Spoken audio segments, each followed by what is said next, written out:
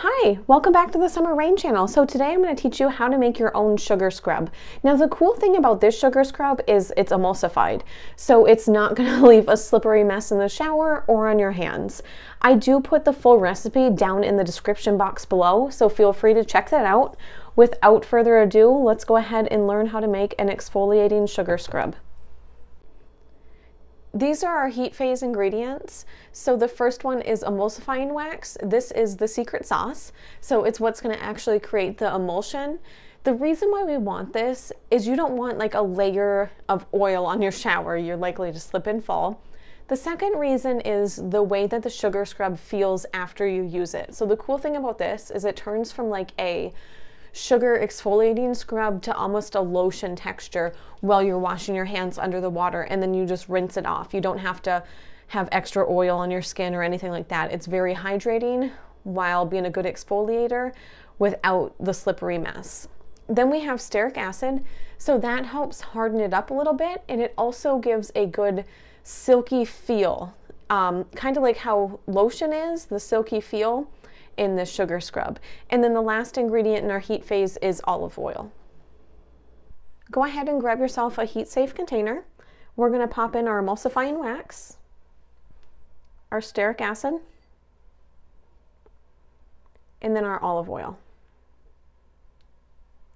And we'll go ahead and pop this on a double boiler. These are our cool down ingredients. So we have shea butter, which I recommend cutting it up a little bit. So we're actually gonna pop this into the heated oils after they come off the stove. So I like to have it in smaller chunks to help it melt. I do this just to help cool my oils down, plus not to overheat the shea butter.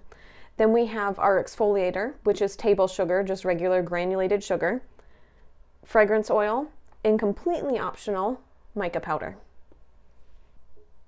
So all of our heat phase ingredients are melted. So what I'd like to do is grab my mixing bowl and we'll just pop it in there.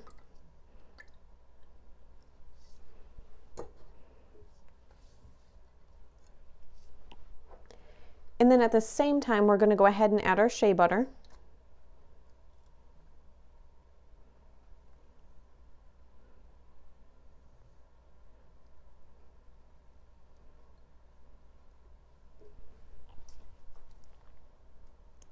Then just go ahead and mix this a little bit, let it start to melt for you.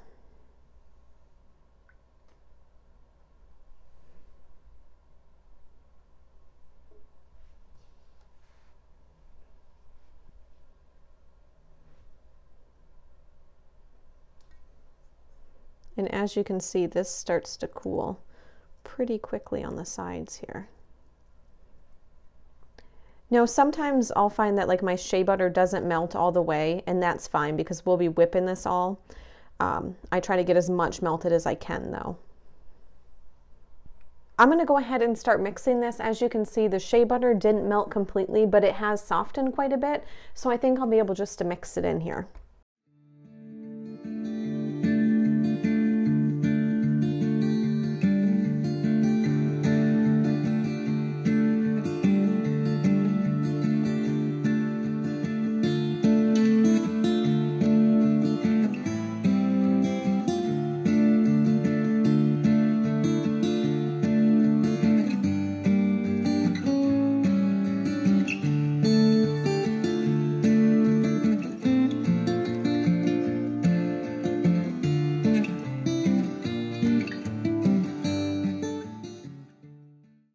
So this is all the way mixed. What I'm gonna do is I'm gonna go ahead and pop this in the fridge for about five to seven minutes. Um, I will pull it out halfway through and just give it a good stir and then put it back in. Basically what I wanna do is I wanna help all of the oils and the emulsion cool before we add our sugar. I pulled this back out of the fridge. I had it in there for maybe five minutes. Um, I did pull it out once and mix it just so the inside gets cooled also. And then what we're going to do is grab our hand mixer and just give it a quick mix.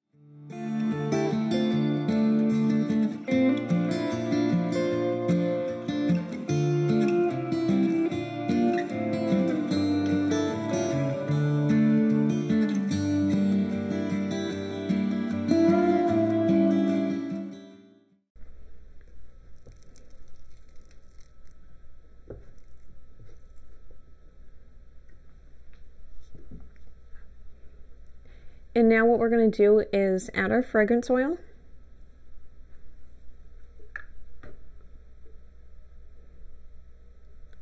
And this part's completely optional, but if you want to, go ahead and add some mica powder. And then we're going to go ahead and mix that in as well.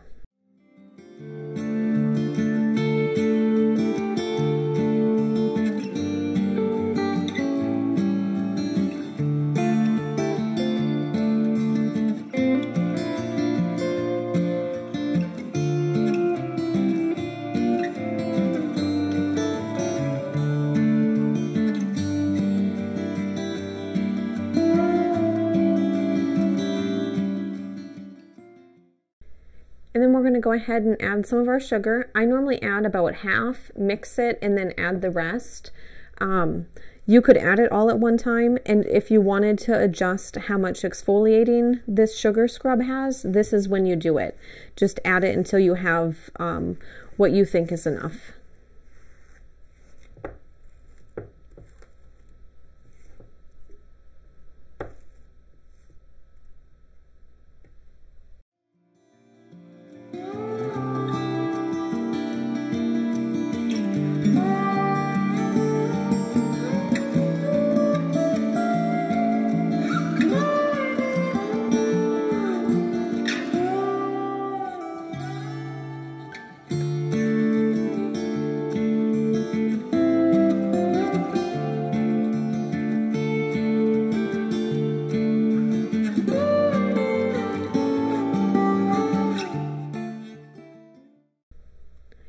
And then go ahead and grab your container.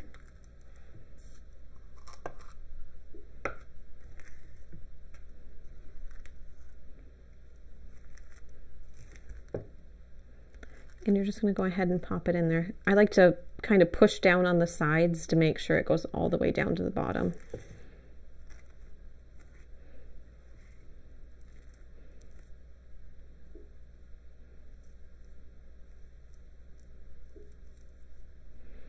And there is your finished sugar scrub, just to show you kind of the texture.